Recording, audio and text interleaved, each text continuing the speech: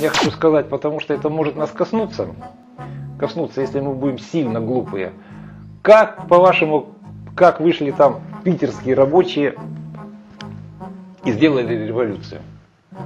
Интеллигенция, революционеры, все пытались их выталкивать, они никто не хотел выходить на улицу. Их вывел король голод, царь голод.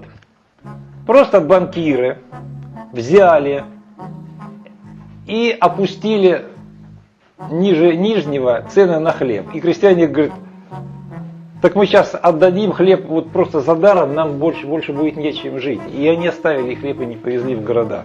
И поднялся голод. Хотя хлеба было более чем достаточно. Хлебом торговали банкиры.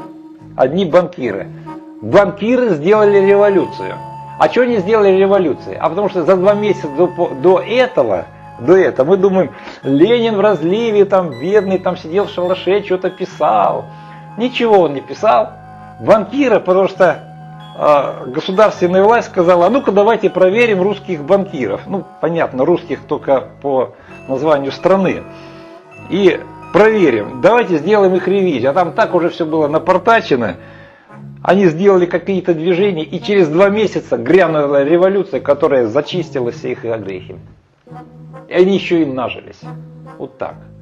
Революция. А мы думаем, самоосознание народа пришло, народовольцы пришли, банкиры просто, когда их приспичило, потому что это капитализм. Капитализм это ненормальное устройство, это как, как это, ну, устройство мира, которое не работает, который кризис будет обязательно и периодически.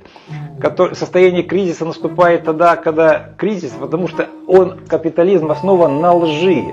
То есть кто-то обогащается за счет других, это уже неправильно. И чтобы другой думал, что это правильно, надо как-то его, вот, что-то ему навешать там на уши, и тогда он будет думать. Причем очень хорошо, и запаковать, и, и какой-то революцию еще приструнить. И надо иметь целую армию, которая э, содержала порядок, чтобы эта ложь не была нарушена. Потому что деньги, которые ничего не стоят, этот доллар, он сейчас ничего не стоит, он тщательно охраняется. Попробуй ты скажи, что он ничего не стоит. Деньги, они ничего не стоят. Это тоже ложь, это фальсификация. Что правительство наше, которое вот это вот Кабмин там а, объявил вот такие меры коронавирусные, а его нету вообще.